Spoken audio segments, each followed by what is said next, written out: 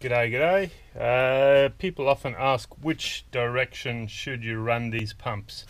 Now, I've seen them with arrows marked on the top here and uh, over here, and it says that way or this way, and you know it's kind of confusing in that way. The the what what I would say is you you logically you want to actually, if you're looking at it from this side, you want to be running it this way. If your wheel is mounted on the other side, well, then you want to be running it once again clockwise. But if you're looking at it from that side, it's anti-clockwise. Looking at it from this side, you want to be running it clockwise because what you've got is you've got your sump down the bottom there, and the way it goes is you've got your eccentric in there, and the eccentric is dipping into the oil and then if it's going clockwise it's coming back around like that. Sort of thing.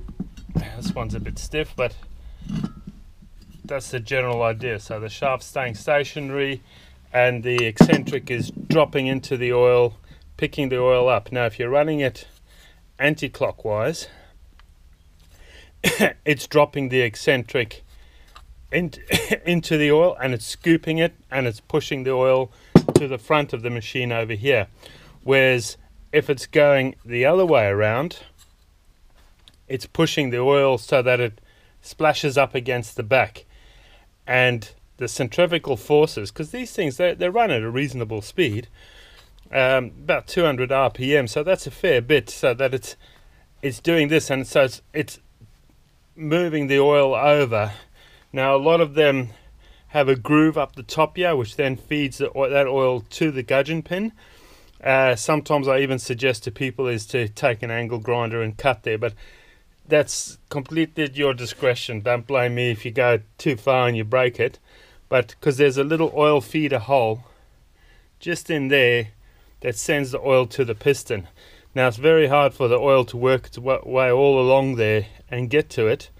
Um, but that's how these were designed, and it seemed to be a design that went for many years. But as soon as they stopped making that groove there, I found that it tended to get a, a fair bit more wear. I mean, this one's not too bad, but got a little bit of slack to it. You can see you can move it like that. Um, that, yeah, and for that reason, the oil's not really getting carried along there. So if you've got a little milling cutter or even just a tiny wheel on an angle grinder or something, and you you do a little trench that leads up to that hole. And uh, all in all I think it'll make your pump last a hell of a lot longer but yet clockwise. Also on the subject of what type of oil now the original specification said that uh, it's best to use a uh, 30 grade oil. Um, don't use any of the modern artificial stuff. Synthetic is no good. It's too thin you want something that's got a little bit of thickness to it. Gear oil doesn't work, or does work, it actually works quite well, but it, it makes a total mess of things. It has the uh, uh, propensity to keep moving on surfaces. So for some reason, it always works its way out of this joint over here and then works its way out onto the belt.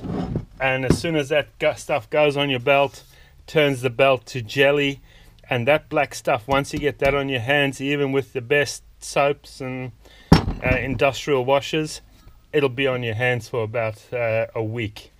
It's pretty much your skin has to wear off to get that black stuff off. It's horrid.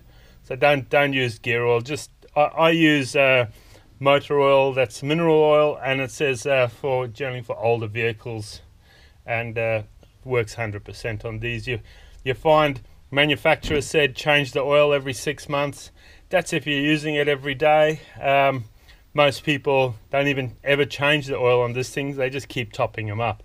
That's up to you. Change it down the bottom there, fill it up the top there. So, uh, but that's uh, up to you. Generally, every two years, I change it then at least.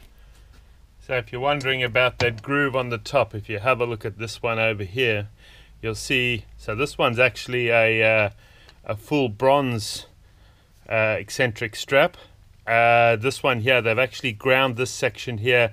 Sometimes it was hard to get them into into the back unit, and these seem to be wider than the others if you if you compare them.